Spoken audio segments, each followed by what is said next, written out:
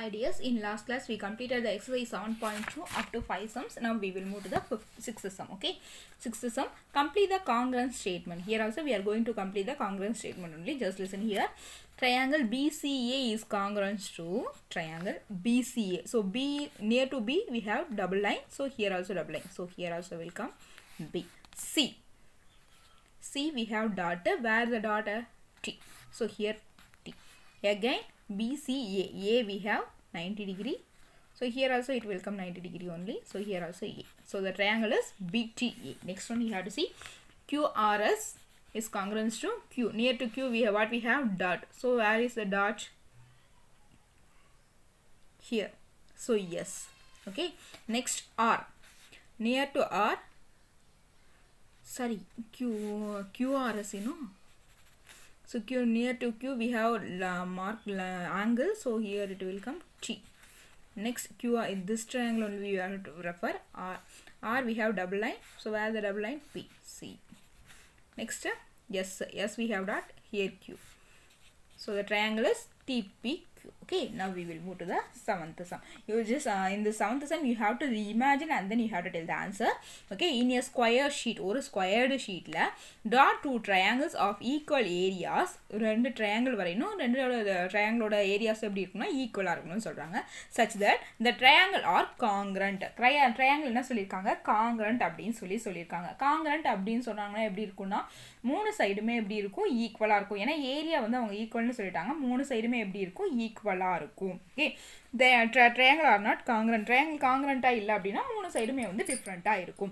What can you say about their perimeters பெரிமீட்டர்ஸை பற்றி நீங்கள் சொல்லணும் அப்படின்னு சொல்கிறாங்க ஃபர்ஸ்ட் நான் ஃபர்ஸ்ட்டோட பெரிமீட்டர் சொல்கிறேன் பாருங்கள் the triangle R congruent okay ட்ரையாங் if the triangle is congruent mean three size will be same for two triangles also three size will be same so if you are the three size you will get the same perimeter only so here it will come same perimeter same perimeter okay?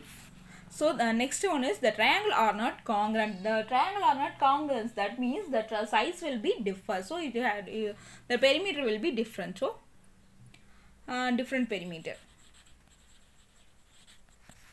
This is the answer okay? Next one you have to see.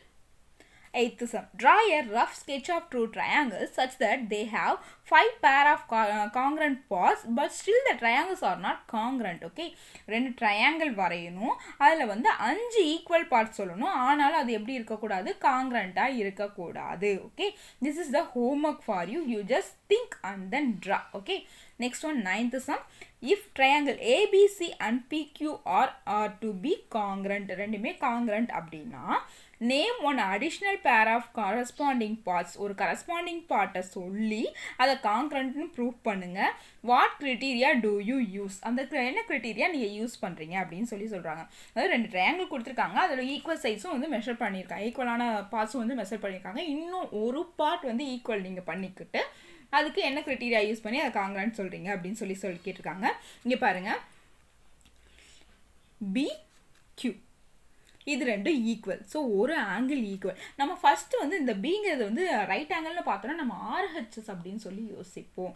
RHS suppose RHS அப்படின்னு எடுத்துக்கிட்டிங்கன்னு வச்சுக்கோங்க.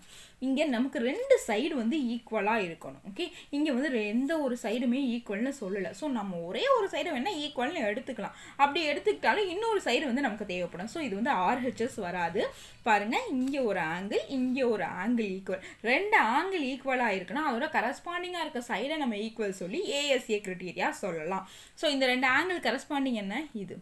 அதே மாதிரி இதுக்கு side so BC equal to ஆர்கியூன்னு சொல்லி இது என்ன criteria படி இது காங்கிரன்னு சொல்லலாம்னா ஏஎஸ்ஏ க்ரிட்டீரியா படி காங்கிரண்ட் அப்படின்னு சொல்லி சொல்லலாம். ஓகேவா now we will move the tenth sum tenth sum explain why okay கீழே கொடுத்துருக்க கண்டிஷன் வந்து எப்படி சாட்டிஸ்ஃபைஸ் ஆகுது அப்படிங்கிறத நம்ம சொல்ல போகிறோம் triangle ABC is congruence to triangle FED okay see here we have two angle but one side okay? But the side is not related to the angle. So we can't say ASA criteria. ரெண்டு ஆங்கிள் வந்திருக்கும் போதே நம்ம ASA criteria தான் யோசிப்போம். But வந்து அந்த side வந்து நமக்கு அது அந்த ஆங்கிளோட ரிலேட்டட் ஆகலை. ஸோ ஏஎஸ்ஏ criteria சொல்ல முடியாது. ஒரு ரைட் ஆங்கிள் வரனால ஆர்ஹெச்எஸ் சொல்லலாம் அப்படின்னா ஹைப்போட்டீனியஸும் நமக்கு ஈக்குவல் சொல்லலை. ஹைப்போட்டீனியஸ் எதுனா இங்கே இதுவும் இதுவும் வரும் இதுவும் ஈக்குவல் சொல்லலை. ஓகேவா இப்போ நம்ம ஏஎஸ்சி க்ரைட்டீரியா தான் நம்ம ப்ரூவ் பண்ண போகிறோம் பாருங்கள் இந்த இப்போது ஏவும் ஈக்குவல் எஃப்பும் ஈக்குவல் பியும் ஈக்குவல் இயும் ஈக்குவல் ஓகேவா ஸோ ஆங்கிள்சம் ப்ராப்பர்ட்டி படி இந்த ஆங்கிளும் ஈக்குவலாக வரும். ஏன்னா இந்த ரெண்டு ஆங்கிளும் ஈக்குவலாக இருக்கும்போது இன்னொரு ஆங்கிள் நம்ம ஆட் பண்ணும்போது இதுவும் ஈக்குவலாக தான் வரும். ஸோ ஆங்கிள்சம் படி இதுவும் ஈக்குவலாக வரும். ஸோ இந்த பி சிக்கு ரிலேட்டடாக இருக்க சைடும் இ டிக்கு ரிலேட்டடாக இருக்க சைடும் ஈக்குவலாக வருது. ஸோ இது வந்து என்னென்னா ஏஎஸ்ஏ க்ரிட்டீரியா படி ஈக்குவல்னு சொல்லலாம். ஸோ ஈக்குவல் பார்ட்ஸ் நான் எழுதுறேன் பாருங்கள் angle B equal to angle E as well as BC equal to ED we we prove that angle D sorry angle C equal to angle D by angle sum. Angle sum property okay? Therefore uh, this is uh, ASA criteria okay this is the answer for 10th sum. Up to this the exercise 7.2 is completed as well as ex- the chapter 7 also completed. Prepare this this criteria and all you are going to use in 10th also so, so prepare well. Thank you dears